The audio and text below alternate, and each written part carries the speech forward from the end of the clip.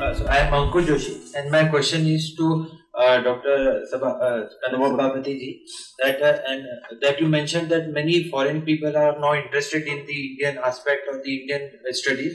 So how these studies will be different from the anthropological studies that were carried out in 17th and the 18th century, which ultimately led to the colonization of India. So how we can ensure that there is a uh, immunity from those aspects?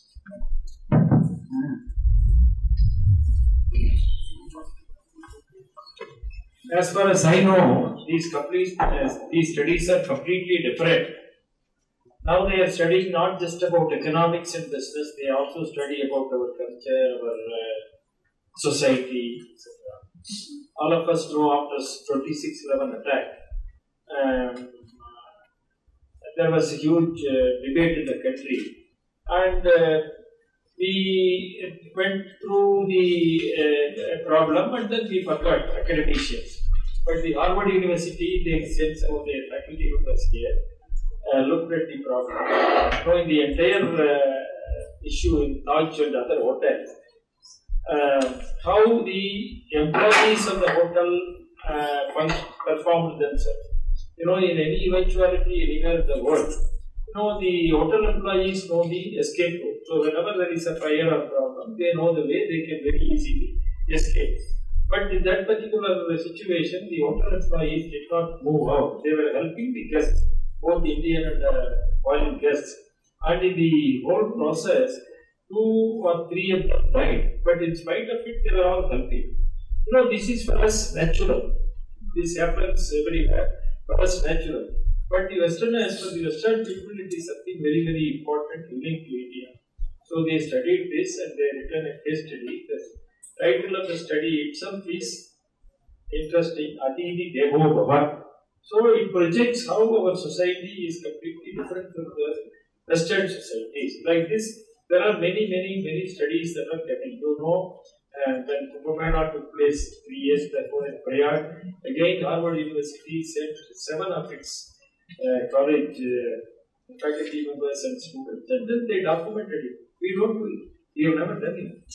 But they are doing it. As you said, there are problems. You know, when they present India, they have to present India in a in the proper manner, functioning manner. But many times earlier they used to misrepresent things.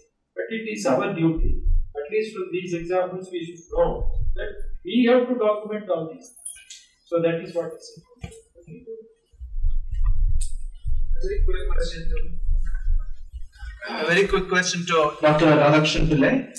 Um, good morning. It was a wonderful presentation, all of you.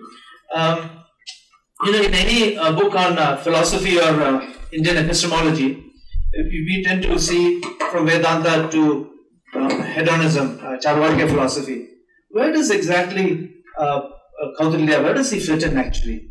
What, what is the tradition? Thank you so much for this. Uh, that's a very good and technical question. If you look at Arthashastra, the opening chapter is called uh, Vidya Samuddesha, the training of a king. And it says a king should be trained in four aspects. Anvikshiki, Trayi, Varta, Danda, Nitis, Cheti, Vidya. So Anvikshiki is being translated as philosophy. King should know the philosophy. And the aspect is Anvikshiki. Trayi is the three Vedas, now we classify as four Vedas. Varta is economics and Dandaniti, political science. These are the words used by R.P. Kangle, who is one of the translators of Arthashastra. Now, coming back specifically, there's a first chapter in the Arthashastra called Anvikshiki Sthapana. That means establishment of philosophy. And he tells what is Anvikshiki. And he goes to the extent of defining Anvikshiki is a combination of Sankhya, Yoga, and Lokayata. Now, if you look at Indian philosophy darshanas, there are six main darshanas with three additional darshanas. Sankhya Yoga, and then uh, we have uh, Nyaya, Vaisheshika, uh, Mimamsa, Uttara, Vedanta, and now we also include Jainism, Buddhism, and uh, uh, Lokayata. Chanakya specifically says that my philosophy is a combination of many philosophies. And he never says that Anvikshiki was introduced by me. It is an existing parampara. There were Purvacharyas of Anvikshiki, like Kushanas were there, you know, then Brahaspatyas were there. He's not saying Brahaspati, it's Brahaspatya, the whole parampara. If you look at knowledge creation, We all people have to understand there were acharyas before us and there will be acharyas after us. So what Chanakya does, he says, Purvacharyas, the philosophies they established, I am looking at Anvikshiki as a combination. So coming back to your question, very clearly Anvikshiki is Sankhya, Yoga and Lokayata. And the chapter ends with justifying why Anvikshik is important because Anvikshik is anvekshan, investigation by reasoning. Chanakya is very logical person you cannot जैसे मुझे लगता है क्यों लगता है कैसे लगता है scientific analytical and finally winds up the chapter the first chapter अन्वेषण की स्थापना bye very powerful quotation of of Chanakya, he says, Pradipah Sarva Vidyanam Upayah Sarvakaram Shashwat Anvikshiki Mata. If you don't know how to think, if you cannot think philosophically, you will be always in the dark. The leader has to take a decision, isn't it? And most of the leaders are something called as Dharma Sankat. What to do and what not to do is the question. So Anvikshik is a thought process, as sir said, you know, which brings you clarity.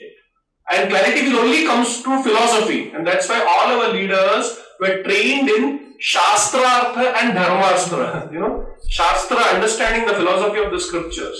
Coming back, Anvikshik is philosophy of Sankhya, Yoga and Lokayata. So this is to Professor Karina Sabhavati. You mentioned a video about the which was made by the Harvard professor. The name of the Harvard professor is Dr. Deshpande. And name of the video is not Atithi Devo Bhava. The name of the video is Leadership from Below. Why I said this because I use it in my leadership class very often, almost once a month. Just to uh, uh, uh, Mr. Srinivasan, you made about uh, Tirukkural so many details. So one example can you may about where you have actually used it and practiced. Hello? Yeah, in, in, uh, mo- in most places, one is on the recruitment itself. So in the recruitment, it says uh, we have to test everybody and then we have to choose for the appropriate position. And sometimes we put in wrong position, it doesn't work, then you have to change the position, then it will work.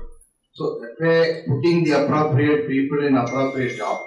Then there again, who can be the head, who can be the second person. So this itself is very, useful because several times I have changed the heads based on this. Because even when I came into eMudra, there were 14 heads. Out of that, four, six heads I removed and only based on who can fit for what I have put eight heads. And now I am not putting any more head. Under the head, I am putting more of doers than the thinkers. Because only at the top level you need thinkers, but every level you bring the thinkers, then it doesn't work only. So we have to bring the doers. Then if you see all sales positions, you have to appropriately choose because sales is the main function of an organization. Without sales, nothing will happen. So if in the sales you put wrong person who doesn't talk properly, who doesn't respect the other people properly. So for example, here if you see India, still the surgery culture is there. So whenever a salesperson meet anybody, first thing is the our like this. So if he doesn't do that and he thinks he is equal, superior and all that, then immediately it doesn't work still. Because in America there is no need to say surgery or anything like that. So accordingly, the people who are more polite, more docile will be able to do these kind of things who are not very ego oriented. So in all this selection of people and putting appropriate people, it really helps. Then the second thing it helps in this thing is the budgetary control. Because if you see today, the enterprises are becoming more and more difficult. With the advent of the internet and all the competitive pricing becomes very public. If you see 10 year, 15 year back, the prices of many product or many things are not very easily known. Today price of anything is known immediately. So with the result in the entire chain of system, for example, you take Amazon. In Amazon, 100 traders are trading in the Amazon. In the Amazon trading, if one trader makes a mistake in pricing without he omits some cost and thinks there is a profit and quotes something, then all the 100 traders will be affected in no day, in one day itself. So that way, quite often there is ups and downs in business. And every time this budgetary control, what I mentioned, that immediately you have to cut down the expenditure to the revenue because always the revenue is not increasing. It will increase, it will decrease, then you have to reduce. So like this, so many students are really helpful. And, and another thing is the, the inspiration what we have to get because the governmental regulation, so many things will happen in no time, suddenly you will be cut off, anything can happen. So for example, if you take two, three years back, the Aadhaar case went into Supreme Court. So what is the impact on eMudra?